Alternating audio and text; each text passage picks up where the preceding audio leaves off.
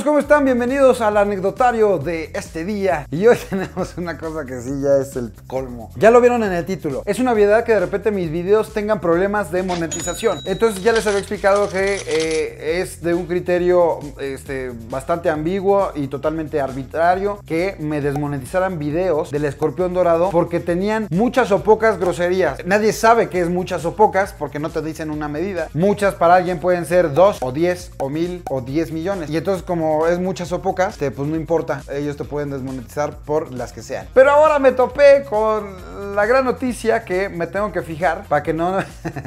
Es que parece chiste, güey. Me tengo que fijar para que no me desmoneticen cuando mis videos sean demasiado infantiles. Ya lo sabíamos, no es una, no es una noticia nueva, pero desde el año pasado, a finales del año pasado, se anunció que en el 2020 se iban a poner más rígidos en cuestión de, la nueva política de los videos dirigidos para niños. En primer lugar, cuando me hacen entrevistas y me dicen que qué tan difícil es eh, eh, seguir las reglas de YouTube, yo digo que es dificilísimo, porque YouTube tiene las peores reglas del mundo. ¿Por qué? Porque la regla que se le ocurra hoy, por la razón que sea, justificada o no justificada, válida o no válida, pero la razón que impongan hoy aplica para toda la historia de tu canal. Entonces puede ser que tu canal rompa todas las reglas que se vayan poniendo a lo largo de la historia y termines pues extinguiéndote. Te estoy diciendo un panorama muy extremo, ¿no? Pero si de repente dijeran, ok, eh, nueva regla de YouTube, no se puede usar bigote. Entonces todos los videos que yo haya hecho en la historia del mundo mundial, no importa si fue hace un año, o hace dos, o hace cinco, o hace diez. Si traigo bigote, ese video está incumpliendo las reglas de YouTube. O sea, te hacen retroactivas las reglas. Entonces, aquí vamos a lo siguiente. Resulta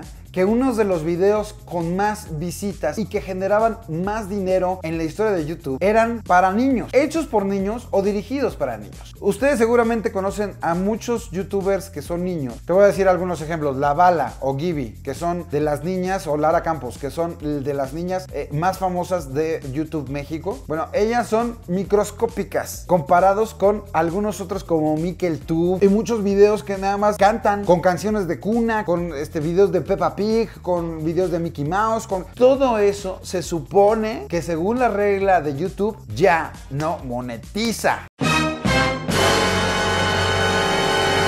No monetiza. Eso yo ya lo sabía. ¿Por qué? Les platico históricamente que para que quede aquí asentado en los registros del mundo mundial. ¿Qué pasó? No les voy a hablar con, con tecnicismos, pero en cuestiones prácticas. Tú que me estás viendo, no importa cuál sea tu negocio, y específicamente en el negocio de la información, pues peor. En específicamente en el negocio de las redes sociales, pues peor. No puedes estar intercambiando información de menores de edad, de niños. Para eso tendrías que tener la carta este, de autorización firmada por los padres que le estás brindando la información de tu hijo a una empresa. No importa qué tipo de información, no importa si es su tipo de sangre o si es sus usos y costumbres. ¿Y en qué está basado toda la publicidad que te sale a ti? En usos y costumbres. El algoritmo, por ejemplo, de Netflix, tú lo sabes. Entras a tu cuenta de Netflix y te ponen las películas y series que se imagina basado en tus gustos que te pueden gustar y te omite todas las demás. Entonces también ese algoritmo en redes sociales, por ejemplo en YouTube, te va poniendo la publicidad que sabe que a ti te va a interesar basado en la información que tienen de tu cuenta. Si está registrado que tú eres un, chavo de 18 años, pues seguramente te van a interesar cosas para adolescentes. Si tienes tus 50 años, te van a interesar cosas para gente ya más madura si tú eres mujer, pues seguramente te interesan las joyas. Si eres hombre, seguramente te interesan los tenis deportivos. Entonces te van a poner ese tipo de publicidad para que tú la consumas, para que tú seguramente te intereses. Si a mí me ponen de cosméticos, a mí en específico, eh, con mi cuenta, con la información que tienen, pues seguramente yo no voy a apelar esa, esa publicidad y le voy a dar saltar anuncio y nunca voy a entrar a esos sitios de maquillaje. Contrario a las personas que se dedican a ver tutoriales o a las mujeres, etcétera. ¿Me explico? No sé si me estoy dando a entender con todo esto. Entonces, basado en eso, a los niños, a las cuentas que estaban marcadas como de menores de edad y a los videos que estaban dirigidos para los niños, pues obviamente te metían publicidad de películas, de series, de videojuegos, de juguetes, de juguetes de adolescentes, de juguetes de preescolares, de todo tipo de cosas, obviamente dirigido a su audiencia. ¿Cómo sabían que a esa audiencia le iba a interesar? Porque tenían los datos de todos los niños del mundo. Imagínate qué poder tiene la información Ese poder lo siguen teniendo en las redes sociales y todo lo demás. Cada vez que llegamos nosotros los formularios, les estamos dando poder a todo el mundo. Somos parte del sistema. No quieres ser parte del sistema, no te metes a ninguna página, no te suscribas a nada. El punto es ese, muchachos, que eh, cuando se dieron cuenta casualmente, de forma normal, estaban intercambiando eh, información de niños, pues pusieron el grito en el cielo y otra vez le dieron un madrazo a YouTube. Y otra vez lo demandaron, otra vez le reclamaron, otra vez. No quiero expresar palabras que no me consten, pero el punto es que le costó mucho en cuestión de reputación, no sé si en cuestión de demandas o en cuestión de dinero. Y entonces las reglas cambiaron de nueva cuenta. Así es, a partir de ese momento YouTube declaró, no se puede monetizar si tu video está hecho o dirigido para niños. No puedes. Y como parte de estos cambios y como parte de la protección para todos los niños, también los comentarios fueron desactivados. No hay forma que tú puedas comentar nada. Obviamente esto es para protección de los niños porque la gente de repente súper cruel y súper agresiva y ojete y demás. Y obviamente también se presta para poner otro tipo de sitios. Es que es un relajo. El internet es, es un terreno peligroso y hay gente muy, muy mala. Lamentablemente algunos pagan por, por gente así. El punto es que no puedes poner ningún tipo de comentario. Y tú como creador no puedes recibir ningún tipo de comentario. ¿Me explico? No puedes poner los videos en ninguna lista de reproducción.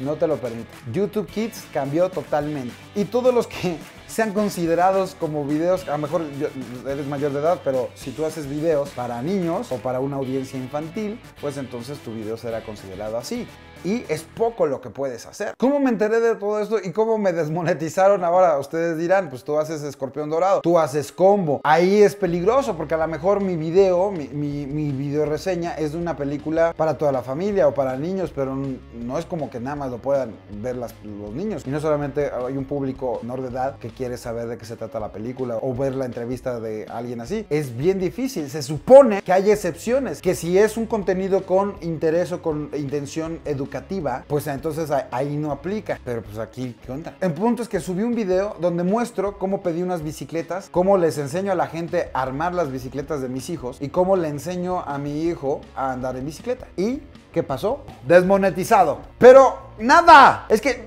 cállese. ¿Qué pasó? A ver, dígame por favor, mi canal no es de niños. La lata habla, eh, hago unboxings y hablo de anecdotarios y a veces pongo family blogs y hago tags de con mi familia y entonces eh, hago como, como un blog de cuando fuimos a algún viaje y pues resulta que me puse a rascar y no era el único. O yo me estaba dando cuenta porque ahí justamente lo subí y estaba desactivados los comentarios y entonces me di cuenta que algo estaba mal. Investigo, pregunto y me entero de lo siguiente. Uno de los criterios para decir que tu video es de niños o dirigido a niños es que en el 40% del video aparezcan niños. Pero digo, ok, yo no creo que ningún niño se vaya a poner a abrir, abrir unas bicicletas y armarlas y ajustar los frenos y todo eso. Y yo como papá estoy mostrando cómo le enseño a mi hijo a andar en bici. Eso no es dirigido para los niños. No es exclusivo de los niños, sí lo podrían ver, pero, pero no, no es para ellos nada más. Pues bueno, vamos a ver qué rollo. Y entonces, por ejemplo, me puse a rascar y me di cuenta que las fotos navideñas de mi familia las que me tomé con Luca, Dan y Dana,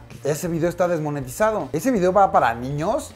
No pero aparecen niños. Entonces me voy a Dinamarca, a Billund, con Luca, a conocer Lego y entrevisto a las mentes maestras más importantes de Lego y nos dicen cuál es su estrategia global y, cuáles son los programas que tienen pues, para ayudar a este mundo y que no solamente es entretenimiento, fomentar en todo el mundo la construcción y reconstruir el mundo, etcétera, etcétera. Entrevisto a un cuate que desarrolla prótesis para las personas que hayan nacido sin alguna extremidad. Hago todo eso, pero como aparecen niños, me lo desmonetizan. Y yo argumento, eso es más educativo que muchas cosas. Entonces no tendría por qué. No sé si a un niño le interese todo ese choro, todas esas entrevistas. Obviamente aparecen diferentes sets que están desarrollando, que muchos de esos sets de Lego no son para niños. Toy Story 4 tiene nuevos Funko Pop. El unboxing. Ese está desmonetizado. Yo diría que no aparecen niños, pero sí aparecen, este, aparecen las manitas de mi hijo. Porque era cuando hacíamos los unboxings donde nada más aparecía el producto. Entonces ahí mostró este, para los coleccionistas esos Funko. Y está desmonetizado también. Entonces, o sea, estoy, estoy sorprendido y estoy, estoy viendo cómo te empiezan a acorralar en algunas ocasiones. Y te empiezan a mandar a, a lugares que pues, no imaginaste. Por ejemplo, en su momento nos lo decían, ¿eh? Todo lo que tenga que ver con la familia, todo lo que tenga que ver de contenido para niños, háganlo y va a ser favorecido y les va a ir muy cañón porque esa es la tendencia. Eso nos decían, se los prometo. Y ahora la tendencia parece ser que va con los videos de ejercicio y los de comida. Entonces por eso están viendo, no es de gratis, ¿eh? Por eso están viendo que muchos youtubers que jamás los habían visto hacer ejercicio o jamás los habían visto cocinar,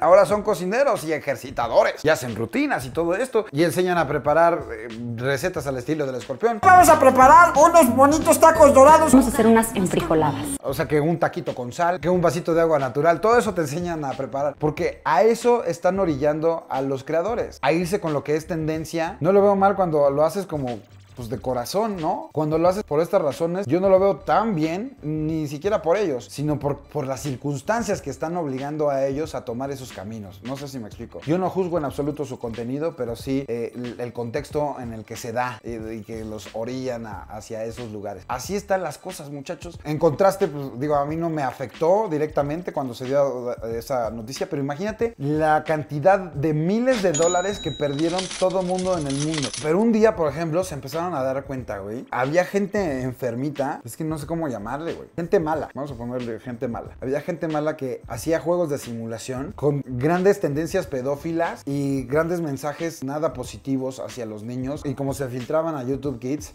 pues los niños se veían expuestos a eso. Yo a mis hijos no los dejo ver YouTube porque me enteré de todas estas cosas. Yo prefiero y me siento más tranquilo cuando están viendo una plataforma de películas y de series porque ahí ya yo puedo ponerles los candados. Y en YouTube, literalmente, cuando alguien quiere subir algo, lo sube en el segundo que se le pega la gana y puede poner a, inclusive un doblaje o una caricatura hecha por ellos, poniéndole los diálogos que quieran, con groserías, con este doble sentido, invitándolos a otro tipo de páginas. Eh, todo eso, obviamente YouTube se ha metido y se ha aplicado a, a tener más, más mecanismos de seguridad, pero no creo que hayan sido suficientes hasta ahora. Yo por eso, por ejemplo, no permito ver a mis hijos YouTube, a menos que yo esté literalmente a un lado de ellos, ¿no? Cuando quieren ver algún unboxing o alguna cosa así. Son las cosas y los riesgos que nos vamos topando en este mundo de internet, que no está nada cool y que bueno, yo como creador pues me voy topando con estos problemas. Y sobre todo en esta época eh, que nos pegó la pandemia y demás, yo se los dije este, en, en diferentes videos, mis visitas están creciendo, decía eh, la estadística, crecieron tus visitas 15%, bajó lo que generaron esas visitas 47%, 47% menos dinero con 15% más de audiencia. Qué locura, muchos de mis amigos que me topo de, de YouTube me están diciendo que, que están sumamente desmonet- desmonetizados y desmotivados. Y que dicen, no, las cosas están súper raras, te- entonces ya no quiero sacar videos. Tengo ideas o tengo tal vez un video bien fregón que yo sé que en circunstancias normales va a tener muchas visitas y va a redituar todo lo que yo le invertí, pero entonces no lo quiero estrenar en estas semanas y no voy a sacar nada hasta que las cosas se mejoren. Y entonces están abandonando sus, canales. Ese responde tal vez la pregunta de por qué tu youtuber no ha sacado nuevos videos. Yo decidí no aflojar y no dejar de sacar en ninguno de mis canales videos nuevos y así ha sido y así va a seguir siendo, a pesar de estas circunstancias que les digo. Pero bueno, pues esto es parte del desahogo que uno tiene a través de las redes sociales, a través de nuestros canales. Eh, como ustedes y yo somos amigos, pues por eso se los comparto. Los quiero mucho, les mando un abrazo y espero que me sigan en las redes sociales, que compartan este video y que si tienes alguna otra duda existencial sobre lo que sucede detrás de cámaras a nivel profesional o personal de un servidor, alguno de estos canales que, tú conoces, por favor, comenta y dime qué otro anecdotario te gustaría escuchar. Yo soy Alex Montiel, síganme en las redes sociales, pásenla chido y nos vemos en el siguiente. Bye.